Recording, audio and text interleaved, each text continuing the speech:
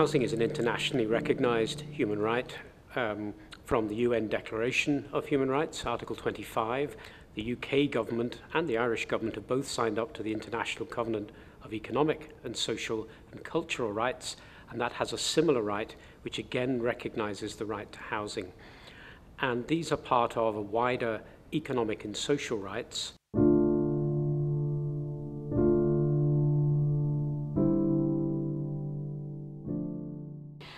Homelessness is perhaps the most obvious symptom of social exclusion and therefore social injustice within society in the United Kingdom at present. But I think the difficulty for us in Northern Ireland is that housing has not been prioritised. I've been working over 30 years now in housing, both for Housing Association and for the Council for the Homeless. And in all of that time, I have seen consistent, inadequate investment in housing.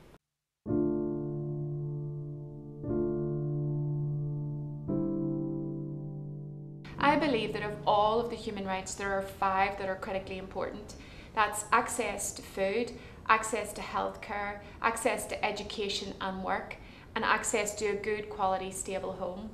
I believe that if you don't have a stable roof over your head, then it's really difficult to hold other aspects of your life together.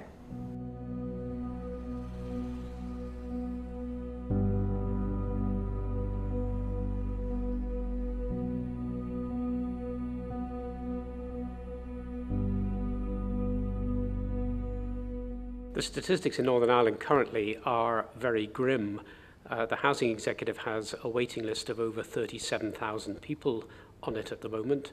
Um, in addition, two thirds of those people, over 22,500, are people who are recognised in housing stress. It is said that we probably need around about 6,000 social homes per year in order to meet existing need, which is the 40,000 households sitting on the urgent housing waiting list and yet we are probably only going to build about 2,000 per year. And as we increase our dependency upon the private rented sector, we also increase the possibility of rough sleeping, of people spending very long times in temporary accommodation. And I'll give you an example. One of our major providers of temporary accommodation in Northern Ireland has said over the last year where most people would have stayed 13 weeks in their accommodation, that has increased to 18 months. Is what is going to happen in regard to universal credit and the other changes that have happened around welfare reform imposed by a Tory government. The truth is that in our society, more and more people are faced with homelessness, and more and more individuals and families are living under the threat of homelessness.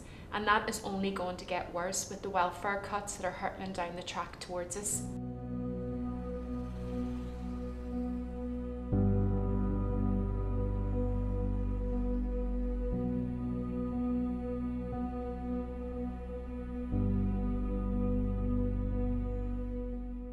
Homeless providers get money via housing benefit, which is already under pressure, but also through a programme called Supporting People. The Supporting People programme is the absolute lifeline for these services in ensuring that they have qualified staff to offer service and the best support that a homeless person needs at a time of crisis. The Supporting People programme is a crucial part of housing policy and therefore preserving and enhancing that programme is absolutely vital. It's really important that people call on those who are in positions of authority and power to make sure that this funding is ring fenced because supporting people helps the most vulnerable in our society stay at home and it's only right that they receive that support.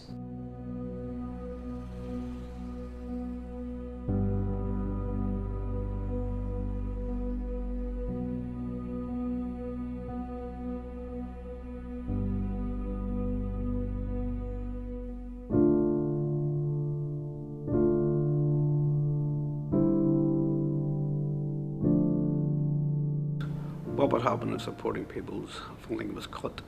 People with addictions and dual addictions and secondary mental health issues such as depression, bipolar, schizophrenia, post-traumatic stress, suicidal thoughts, self-harm. Some of these people have been abused in their childhood, should it be um, physical abuse, sexual abuse, emotional abuse, financial abuse. Some come from dysfunctional families and coming from different places. Um, some are rough sleepers who have been on the streets for an awful long time. These are transient people with a very chaotic lifestyle.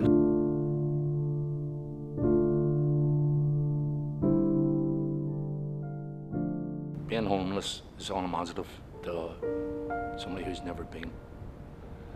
It is so vulnerable to the world in general, the fear that you have, no future. You can't see anything but your present moment, which is an uncomfortable way to live.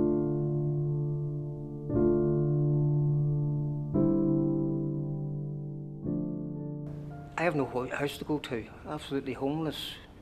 Uh, so where am I going to go?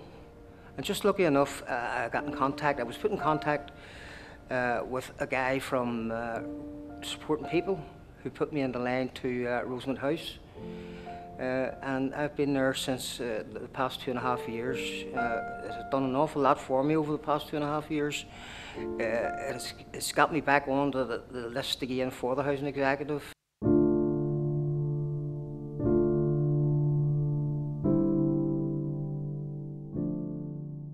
I became homeless again.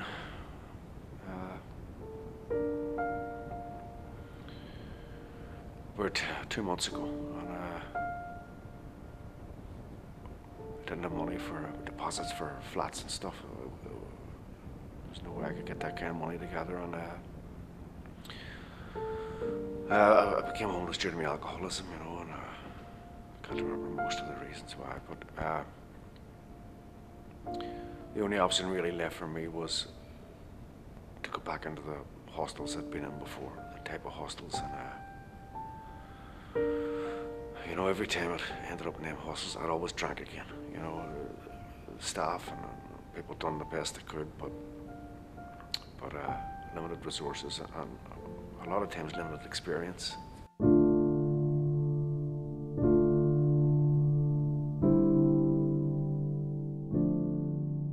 I've been landing in the States from 2014, you know, and uh, it's not nice. You know, it's terrible the way people walk by you. You know, people are always good people out there that help me an awful lot. I live in hostel. I'm homeless, but now I'm in good place. And uh, this what happened to me can happen to everyone. I had good job. I had house. I had partner. But something happened in my my personal life, and uh, it was too hard for me. I had nervous collapse, and this was beginning my bad journey. Um, most of the time I was scared, you know, very, very scared and um, lonely, very, very lonely. Street is not place for for anyone. I was full of fear on the street. I've helped my mental health a lot, you know, with uh, the family orientation that there is here, you know, you feel part of a, a family. You know, it's not just like a hostel environment or a rehab environment, it's like a, it's like everyone in here is part of your family and including the staff, like, you know, to bend over backwards to help you. Well, it's obviously from start it's given me a bed. Um, I'm not out in, I'm no longer in the streets and it's helped me get myself confidence back. Uh, it's it's helped me stay where, where I need to be. Um, doing courses an extern and going out different meeting different people. It's it's been a big it's it's been a lifesaver for me. Like Rosemount House is, well, I, I wouldn't, Daphne would not be sitting here. I would be with my father and him. Without Rosemount House, I would be, I would, I would be actually lying on Castle Street, drinking, you know, uh, and with the rest of the boys, where I come from. You know, I don't want to go back there again, you know. So uh, uh, at the minute, Rosemount House is, has been my lifeline. It's been a miracle for me. It has saved my life. I'm now off the, alcohol for the past two and a half years, which is a really good gain for me. They, they've done an awful lot for me. They say they've got me back on the housing list. Uh, anything I need, I have, I have a lot of uh, medical appointments to do and dealing with hospitals and operations and things. everything is done for me in Rosemount House. Uh, I just couldn't ask for any more. A room in Rosemount House, and uh,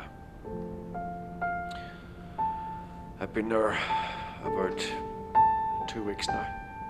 The staff are incredible. All the other hostels I'd been in, the staff mostly seemed to be just doing a, a job, but in Rosemount, the, the staff genuinely seemed to care. For two years, uh, I've been a resident in Rosemount, and I've had one offer, which wasn't conducive to my needs, to say. But as I look upon the skyline of Belfast today, there's cranes, there's work going on. These are for hotels. These aren't for an infrastructure of housing to deal with 57 year old men or men of any age. We are very vulnerable today. That needs to be addressed before they end up in places like Rosemount House, Concilios, Carlisle House, the Welcome Centre, which does a great job, the Morningstar down the street does a good job, Salvation Army. So rather than have the cuts, we need the support and we need the proper funding. Rosemount and other organisations give hope. Let's not take it away from them before it's too late.